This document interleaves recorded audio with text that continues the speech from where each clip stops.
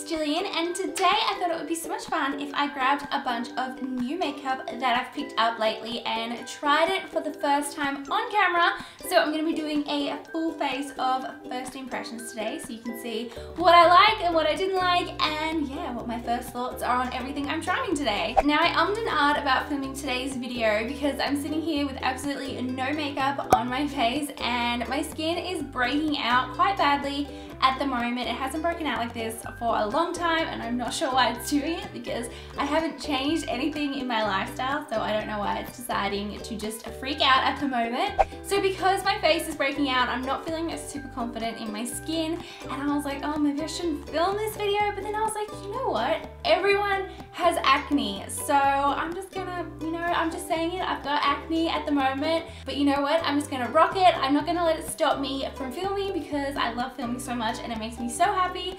So yeah, my skin's breaking out, but that's okay.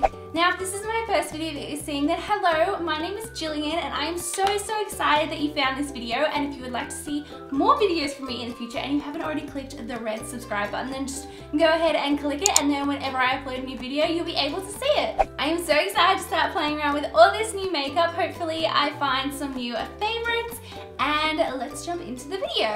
I am so excited to start playing around with all this new makeup and I'm going to start off by priming my face and to do that I'm going to be using the Smashbox Photo Finish Primerizer and this is a primer and a moisturizer in one. So it says that this can be used with or in place of your moisturizer and I haven't applied any moisturizer today because I knew I was using this. So hopefully it gives my skin just the right amount of hydration. So this is quite liquidy. I'm just going to spread this over my face.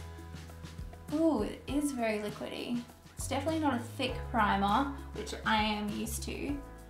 So to me, that kind of just feels like a moisturizer. It doesn't really feel like a primer to me.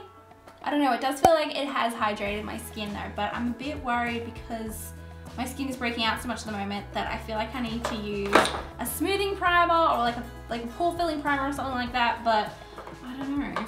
Should I apply a bit over the top maybe? I don't know, I just feel like my skin is like, at the moment, so I need to like smooth it out as much as I can. Alright, so I've just grabbed one of my all-time favorite primers for smoothing and this is the Urban Decay Optical Illusion Complexion Primer and it is smoothing, it has rosehip and argan oil and it's pore perfecting and this is such an amazing primer. So I'm just going to take about a pump of this and just concentrate this on the center of my face. I'm just going to pop some lip balm onto my lips because they're feeling a bit dry and I like to do this before I start doing all my makeup so then by the time I get to doing my lips they're nice and hydrated and smooth and soft. So for foundation today, I'm going to be trying out the Milani Conceal and Perfect 2-in-1 Foundation Plus Concealer. And I'm thinking this is going to be a super full coverage foundation, which is definitely what I want at the moment. So it says that it is a medium to full coverage, lightweight, oil-free formula. It's long-wearing, water-resistant, and sweat-proof, which basically sounds like everything I'm looking for in a foundation. So I'm going to be blending this out with my trusty little beauty blender, and hopefully this is my shade. Ooh.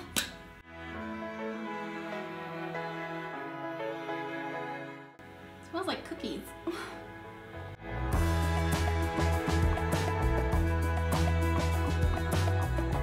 this foundation is definitely medium to full coverage, which I love. It is a bit orange for me, so I'm definitely gonna have to blend it down my neck and over my ears and everything. Apply a little bit more to where I'm super breaking out to try and cover that a little bit.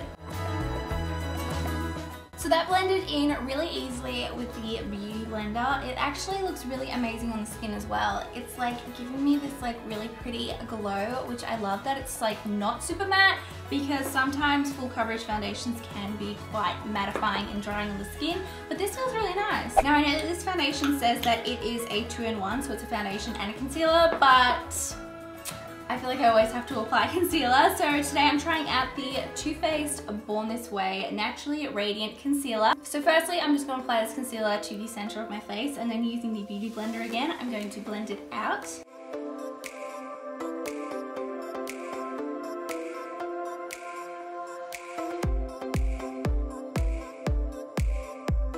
And then I'm just to apply some of this concealer under my eyes. So I do like that concealer. I feel like it's not as full coverage as I'm used to because I'm used to the Tarte Shape Tape, which as everyone knows is like the most amazing full coverage, like just perfect concealer. But I do like this one. It's quite lovely and blended out really nicely. And yeah, I'm excited to play around with that a bit more. I feel like my face feels really, really like tacky so I don't know, I don't feel like my foundation is setting or drying down. So I'm definitely, definitely gonna be setting with a powder today. Oh my gosh, I am so excited to try this product. This is the Urban Decay, the Velvetizer and this is a translucent mix in medium. Now there has been a lot of talk about this product and basically it's a powder which you can mix into your foundation and I think it like gives it more like full coverage and more of like a velvet finish like the name would suggest and you can also use it to set your foundation so that's what I'm going to be using it for today. I'm really interested to see what the finish is going to be like after I apply this to my face. I'm just gonna tap a little bit of this into the lid so I can swirl my brush in it easier. Hmm, that's interesting. It definitely has given my face like a satin velvety look to it, but I don't actually know if I love it. Like you can slightly see the powder across my nose and my forehead. There's like a bit of like a gray kind of tint to it. So I'm trying to like really get that powder blended in. Oh no, it's already dirty because like the packaging's velvet and now I've got powder all over it. Ah. I'm definitely gonna try mixing this into my foundation and seeing what that does. So I'm excited to play around with this a bit more. So far I'm just like, don't know if it's like life changing, but yeah, I'll see in the future. Next, I'm gonna be grabbing this NYX Highlight and Contour Pro palette, and this reminds me of the um, Anastasia Beverly Hills Contour palette and the Kat Von D Shade and Light palette. And I'm gonna take these two shades here. So we've got like a banana colored powder here and then a super light powder. And I'm gonna mix these two together and apply it to my eye area and just the center of my face just to highlight that a bit because I feel like I'm looking, I feel like I look like all one color at the moment, which I don't like. So I'm just gonna go in with those two powders. So I'm going to contour a little bit now and give my face a little bit of definition. And to do that, I'm to be using the Kevyn Aucoin, the sculpting powder, and mine is in the shade medium. And to contour today, where is that brush? Here it is. I'm going to be using this one from NARS, and this is one of my favorite brushes to contour, especially when I want a really like defined, structured contour. So it's just this flat brush. I'm pretty sure this is called Oh, testing my memory. I think it's the NARS Ita brush, Ita brush. Oh, I think that's what it's called. But yeah, this is one of my favorites for contour contouring. I cannot speak today. Oh my gosh. Ooh. Did I apply too much? I think I may have applied too much. Ah!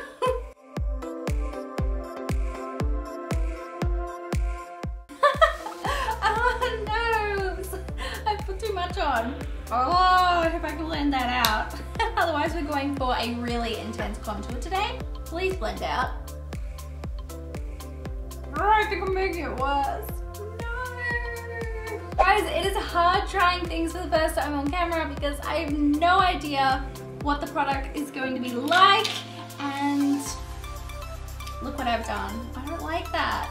I, was, I, I know I'm gonna love that product. Like, I know it's gonna be perfect. I just need to have like a lighter hand with it and not apply so much because that just looks, I don't know if it looks as bad on camera, but in person that is just absolutely shocking.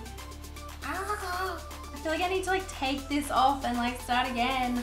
Okay, I'm gonna fix this and I'll be right back.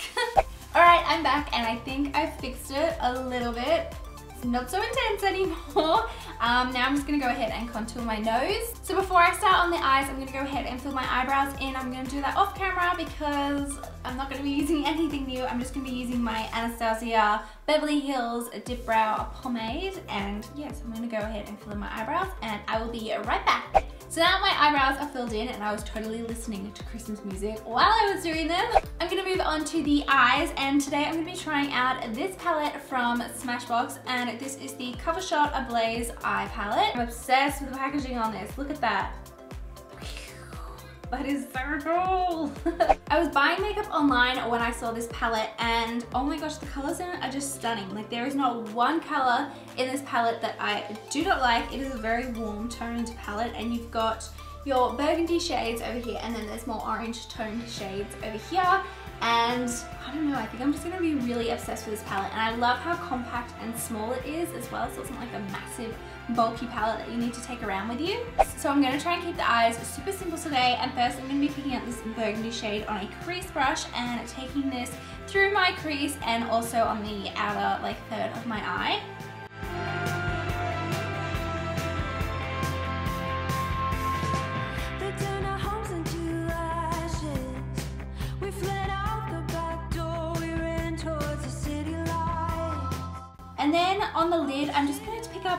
Really pretty shimmery champagne color next to that burgundy color that we just used. I'm just going to press this onto my lid.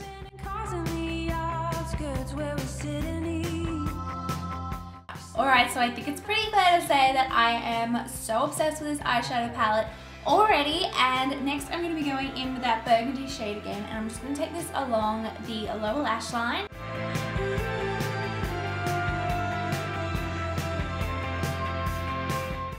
And then next I'm going to take this shade right here and just take this across my brow bone. Okay you guys, I am obsessed with this eyeshadow palette. Oh my gosh, those colors were so pigmented, so easy to blend out and this palette totally kind of gives me modern renaissance vibes by Anastasia Beverly Hills. It's like it kind of gives me like a mini version of that and I know that this palette comes like a bunch of different colors and I think I want to pick up a few others just because I love this so much.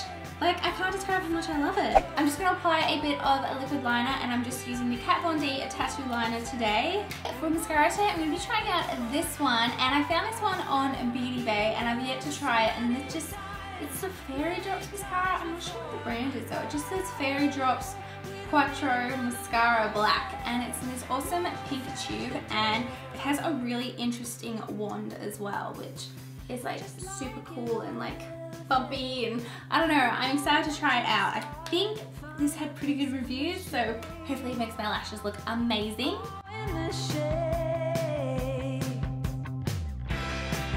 So that mascara was okay. It wasn't like life-changing or anything. It just felt like a regular mascara, but that's okay because I'm about to cover them up with false lashes anyway, and today I'm going to be using these stunning ones by House of Lashes, and these are in the style down so I'm going to go ahead and apply those, and I love putting false eyelashes on so much, just completely changes your look.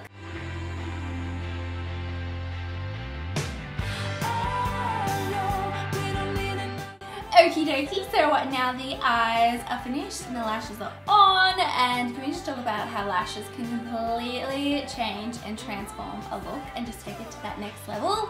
Oh my gosh, I'm so glad fake lashes exist. So I'm to be going in with a, a bit of bronzer now because my face is just looking a little bit uh, at the moment.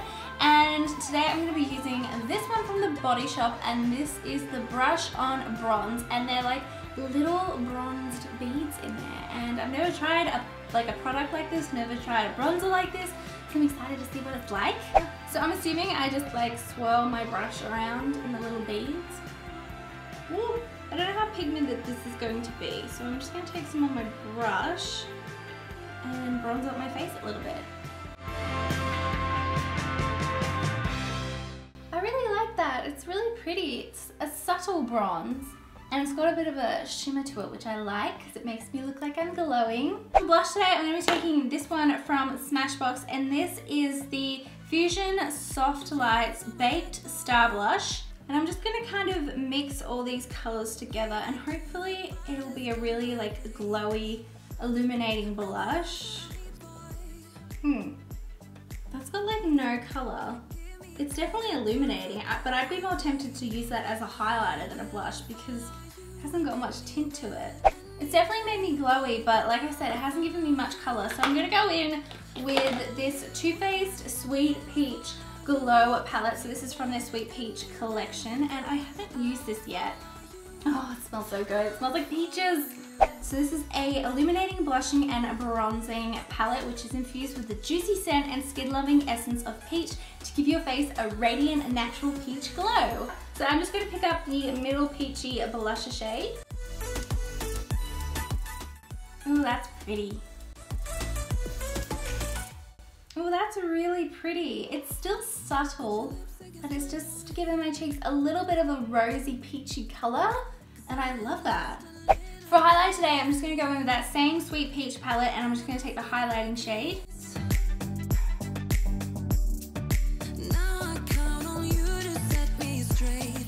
So for lips today, I'm going to be trying this Too Faced Melted Latex Liquefied High Shine lipstick and this one is in the shade Peekaboo. I have tried these melted latex liquid lipsticks before and I do really love the formula but I haven't yet tried this color so I'm excited to see what it looks like. So that's a little bit too pink for what I want today so I'm going to go in with another melted latex liquefied high shine lipstick is such a long name, but this one is in the shade Hopeless Romantic and it's more of a nude color. And then lastly, to set all my makeup in place, I'm going to be trying out the Too Faced Hangover 3-in-1 Replenishing Primer and Setting Spray. It has a slight scent to it, but it smells amazing. It smells like really refreshing and like coconut, which makes sense because it's got coconut in it. so here is the finished makeup look and I love how it turned out. Oh my gosh, seriously the standout product from today was the Smashbox eye palette.